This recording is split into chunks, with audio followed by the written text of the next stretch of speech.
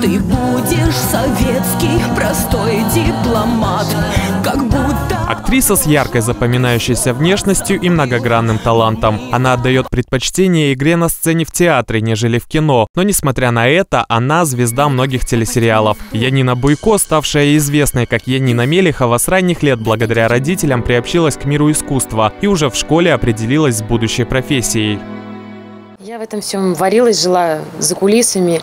Э, у папы репетиции. Вечерами они, как правило, были в театре у него. И мы с сестрой уже после всех наших учеб в школе, кружках всевозможных, мы приходили, в общем, шатались, ну как это еще назвать, во время репетиции э, за кулисье. И любимое наше занятие было лечь поспать э, в костюмерке. Актриса с легкостью перевоплощается как в вульгарную девицу в картине «Между нот», так и в серьезную начальственную особу, ведущую борьбу с преступностью в сериале «Ростов».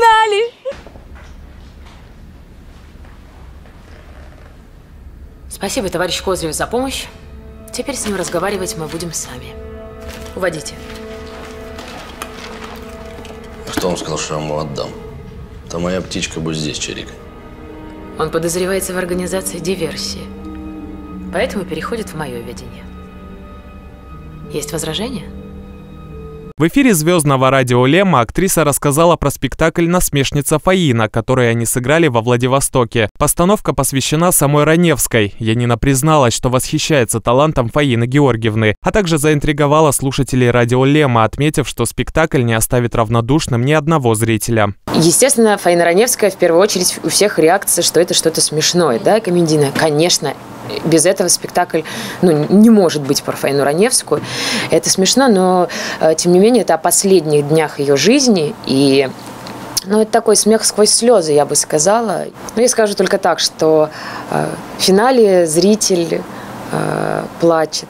Рассказала в эфире Лема и про работу в сериале «Мылодрама», который с первых же серий получил статус самого смешного проекта весны 2019 года. Актриса сыграла бывшую жену героя Сергея Бурунова. В интервью Янина призналась, что эта роль далась ей нелегко. Актриса сама подбирала одежду и макияж, чтобы создать образ разведенной дамы, вдруг обнаружившей, что ее бывший муж стал медиабоссом и готовой на все, чтобы вернуть его. К слову, Янина часто сама придумывает образы своих героинь. Как же глупо получилось, что мы расстались. Mm. Ну, из-за какой-то там ерунды.